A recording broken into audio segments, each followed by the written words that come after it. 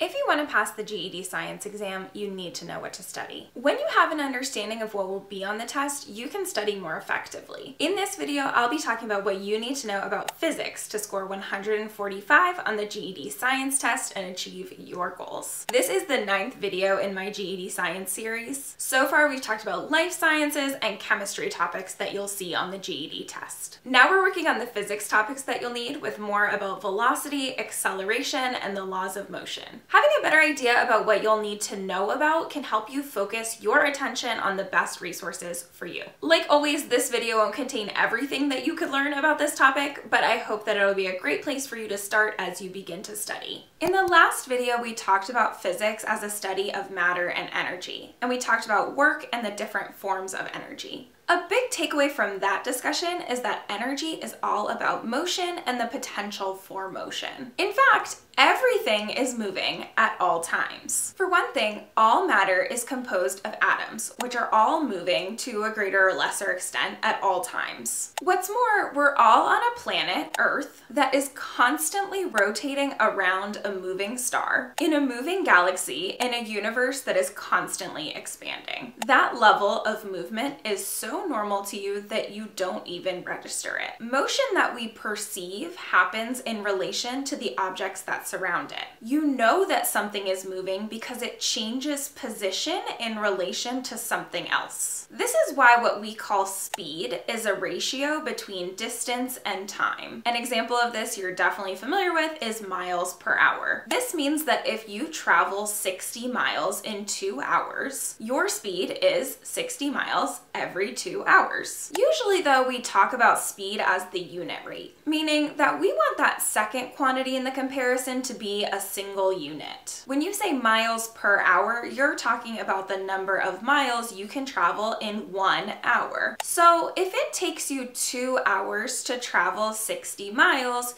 you are traveling on average 30 miles per hour. Velocity is the word that we use to describe speed in a specific direction. You can visualize velocity as a function of distance and time on a graph like this. I put time on the x-axis of the graph because time is the independent quantity. Time will pass whether I'm driving or not.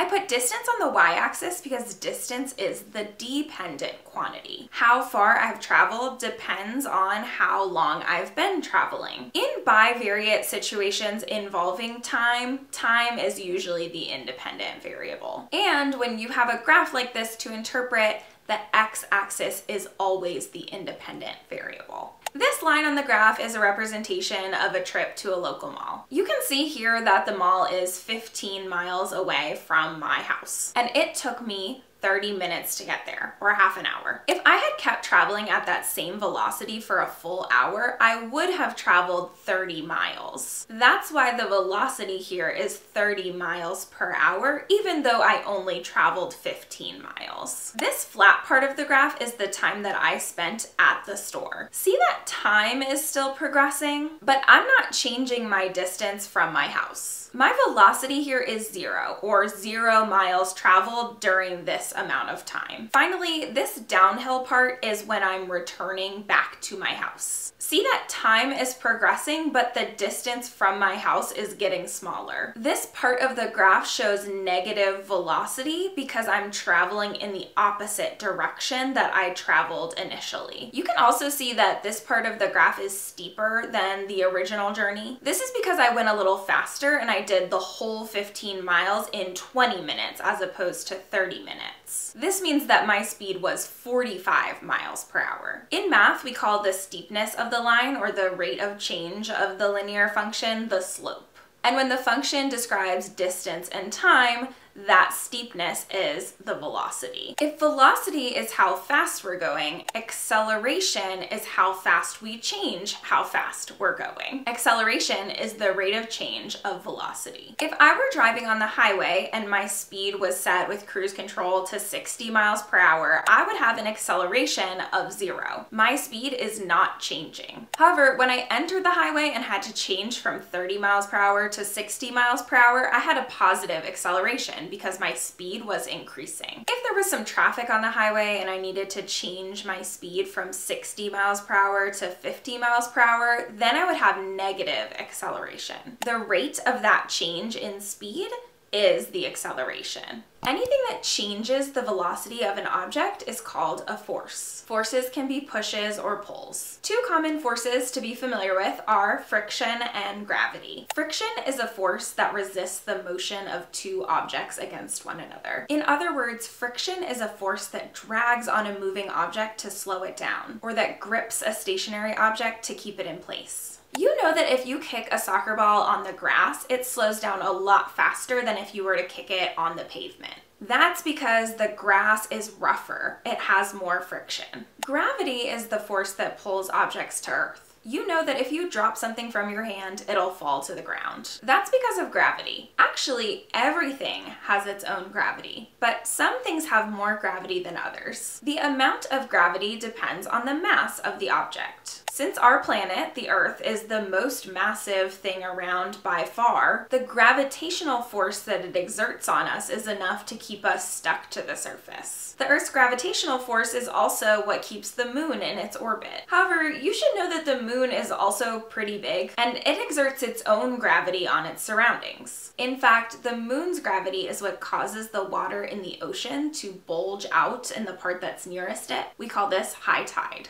On the topic of gravity, you may have heard of Sir Isaac Newton. He was a British mathematician and physicist who lived in the late 17th and 18th centuries. Legend has it that his observation of an apple falling to the ground led him to describe gravity as we understand it today. You should be familiar with Newton's three laws of motion, which are foundational to physics. The first law is the law of inertia. This one says that an object at rest will stay at rest until a force acts on it, and that an object in motion will stay in motion in the same direction at the same velocity until a force acts on it. You know this one from your life. Things don't move unless there's something to move them. And when something starts moving, it's gonna keep moving in the same direction until something stops it. Of course, a ball thrown into the air eventually does stop moving, but that's because friction in the air and gravity of the earth slow the ball down and then bring it to the ground. If there wasn't gravity or friction, a ball that was thrown would just continue on in the same direction forever. The second law is the law of acceleration. This one says says that acceleration depends on mass and force. The greater force is applied, the greater the acceleration will be.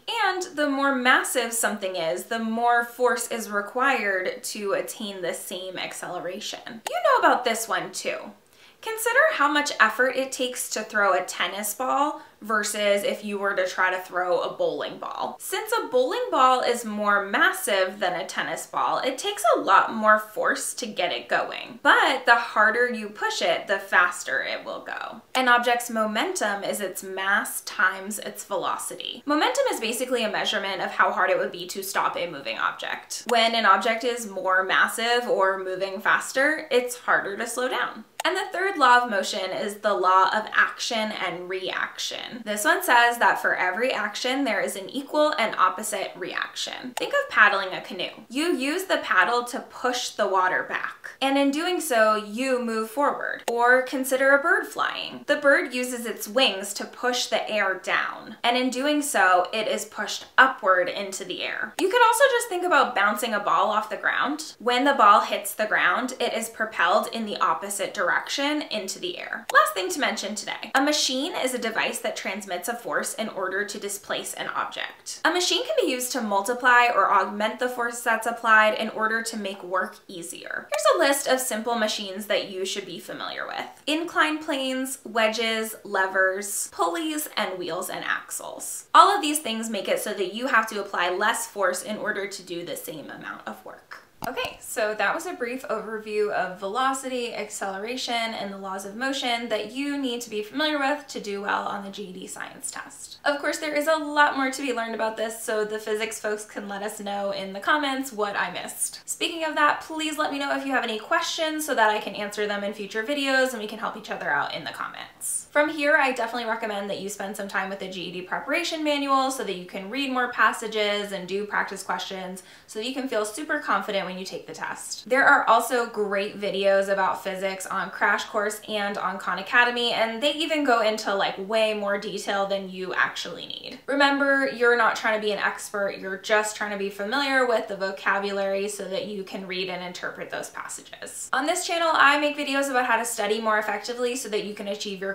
goals. Coming up, there are going to be more GED science videos with more physics topics as well as earth science and space science. So please subscribe if you're working on studying for GED science. I also have playlists about the math exam, the RLA exam, and the social studies exam, so check those out if that is where you're heading next. If this video was helpful for you, please press the like button. That is how YouTube knows that this is a great resource for studiers. It is your support that allows me to take time to make these resources for you. So thank you as always for watching and until next time, happy studying.